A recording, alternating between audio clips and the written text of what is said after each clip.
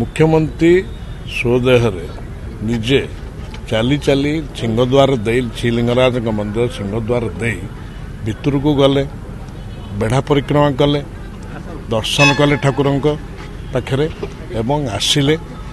ଅନ୍ତତପକ୍ଷେ ଇଏ କଥାକୁ ତାର ପରିସମାପ୍ତି ଘଟାଇଲେ ଯେଉଁ କିଛି ଗୁଜବକାରୀମାନେ ଯିଏ କହୁଥିଲେ ତାଙ୍କର ସ୍ୱାସ୍ଥ୍ୟ ଅବସ୍ଥା ନେଇକିରି ଆଜି ଏକ ଶକ୍ତ ଜବାବ ମୁଖ୍ୟମନ୍ତ୍ରୀ ତା ଦେଇଦେଲେ ମୁଖ୍ୟମନ୍ତ୍ରୀ ତ ନିଜେ କହିଛନ୍ତି ଯେ ନିର୍ବାଚନ ସମୟରେ ଏଭଳି ଅନେକ ଗୁଜବ ପ୍ରଚାର ହୁଏ ପ୍ରସାର ହୁଏ କିନ୍ତୁ ଏକଥା ସତ୍ୟ ଯେତେବେଳେ ଜଣେ ଲୋକ ସୌଦେହରେ ମନ୍ଦିରକୁ ଠାକୁରଙ୍କ ଦର୍ଶନ ପାଇଁ ଆସିପାରୁଛି ତେଣୁ ଭଗବାନ ଲିଙ୍ଗରାଜ ପ୍ରଭୁ ଜଗନ୍ନାଥ ନିଶ୍ଚିତ ଭାବେ ତାଙ୍କର ଆଶୀର୍ବାଦ ତାଙ୍କ ଉପରେ ରଖିବେ ଏବଂ କ'ଣ କହିଲେ ଏକାମ୍ବ ପ୍ରକଳ୍ପ ବିଷୟରେ ସେ ଦେଖିବାକୁ ଚାହିଁଥିଲେ ସେଥିପାଇଁ। ଯୋଉଠି ଯେ ବିକାଶର କୁ ଆଖିରେ ରଖି ବିକାଶର କଥାକୁ ଆଖିରେ ରଖି କ- ଆସିଛନ୍ତି ଏବଂ ଅନ୍ୟ ପକ୍ଷରେ ସେ ବିକାଶ ପାଇଁ ଆଗ୍ରହ ଥିଲାବେଳେ ଅନ୍ୟ ପକ୍ଷରେ ତାଙ୍କ ସ୍ୱାସ୍ଥ୍ୟ ଅବସ୍ଥା ନେଇ ଗୁଜବ କରୁଛନ୍ତି ନିର୍ବାଚନ ସମୟରେ ଭୋଟ କେଇ ଖଣ୍ଡ ପାଇଁ। ଯେ ଭାଇନା, ସେଥିରେ ଗୁଜବ ଆସୁଛି ସେଥିରେ କିଏ କରୁଛି?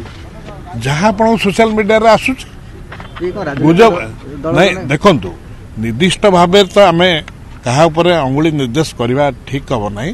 କିନ୍ତୁ ଆପଣ ତ ସୋସିଆଲ ମିଡିଆରେ ଅଛନ୍ତି ଆପଣ ଚ୍ୟାନେଲରେ ମଧ୍ୟ ଅଛି ବିଭିନ୍ନ ଚ୍ୟାନେଲ ବି ଅଛନ୍ତି ଯେଉଁମାନେ ସେଭଳି ଗୁଜବ ରଟନା କରୁଛନ୍ତି ଏମାନେ କ'ଣ କରିବାକୁ ଚାହୁଁଛନ୍ତି ଉଦ୍ଦେଶ୍ୟଟି ପ- ପୁରା ସମ୍ପୂର୍ଣ୍ଣ ଭାବେ ଡି- ଉଦ୍ଦେଶ୍ୟଟି ହେଲା ଭୋଟ ସମୟରେ ଓଡ଼ିଶାର ଲୋକଙ୍କୁ ପଞ୍ଚାୟତ ନିର୍ବାଚନ ସମୟରେ ଓଡ଼ିଶାର ଜନମାନସକୁ ବିଭ୍ରାନ୍ତ କରିବା ପାଇଁ ଇଏ ଏକ ସୁପ ସୁପରିକଳ୍ପିତ ଷଡ଼ଯନ୍ତ୍ର ଚକ୍ରାନ୍ତ ଏବଂ ଇଏ କେବଳ ସେଇମାନେ ଯେଉଁମାନେ ରଟନା କରୁଛନ୍ତି ସେମାନେ ହତାଶ ହେବେ। ଆଜି ମୁଖ୍ୟମନ୍ତ୍ରୀ ତାଙ୍କୁ ହିଁ ହତାଶ କରିଦେଇଛନ୍ତି ଯେତେବେଳେ କହିଲେ ନିଜେ ଯେ ନିର୍ବାଚନ ବେଳେ ଏମିତି ବହୁତ ଗୁଜବ ଆସେ। ନା ମାନେ ଆପଣ କହିଲେ ମାନେ ରାଜନୈତିକ ଦଳ ମାନେ ହିଁ କରୁଥିଲେ।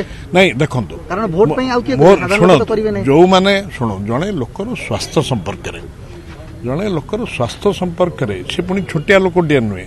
ଆପଣ ଓଡ଼ିଶାର ସାଢ଼େ ଚାରି କୋଟି ଲୋକ ତାଙ୍କୁ ଥରେ ନୁହେଁ ଦ୍ୱିତୀୟ ନୁହେଁ ଲଗାତାର ଭାବେ ପାଞ୍ଚ ଥର ମୁଖ୍ୟମନ୍ତ୍ରୀ କରିଛନ୍ତି ଏବଂ ଲୋକଙ୍କର ଏଇ ଦୁ- ଦି ବର୍ଷ ତଳେ ଅଢ଼େଇ ବର୍ଷ ତଳେ ତିନି ବର୍ଷ ତଳେ ମୁଖ୍ୟମନ୍ତ୍ରୀ ବାଛିଛନ୍ତି।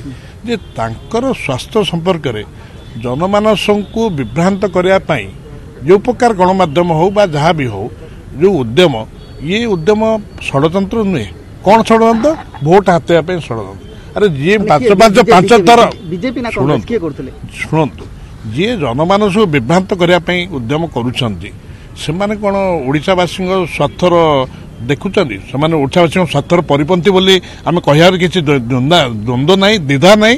ଜଣେ ମୁଖ୍ୟମନ୍ତ୍ରୀ ନିଜକୁ ବିକାଶ ପାଇଁ ସମର୍ପିତ କରିଥିଲା ବେଳେ ତା ସ୍ୱାସ୍ଥ୍ୟ ଅବସ୍ଥାକୁ ନେଇକି ହୀନ ରାଜନୀତି କରାଯାଉଛି ଯେଉଁମାନଙ୍କର ଗୁଜବ ରଟନା କରୁଛନ୍ତି ନିଶ୍ଚିତ ଭାବେ ସେଥିରେ ସେମାନେ ସଫଳ ହେବେ ନାହିଁ।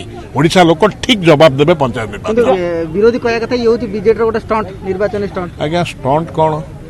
ଜଣେ ଲୋକ ସୋଦୟରେ ଆସିକି ଠାକୁର ପାଖେ ମୁଣ୍ଡିଆ ମାରୁଛି ଦର୍ଶନ କରୁଛି। ଏଥିରେ ଷ୍ଟଣ୍ଟ କ'ଣ ଅଛି? ମନ୍ଦିରକୁ ଦର୍ଶନ ଯିବା କରିବା ଆପଣ ଯିବେ ସିଏ ଯିବେ ମନ୍ଦିରକୁ ଦର୍ଶନ କରିବାକୁ ଯିବାଟା ଷ୍ଟଣ୍ଟ ହେଇପାରେ?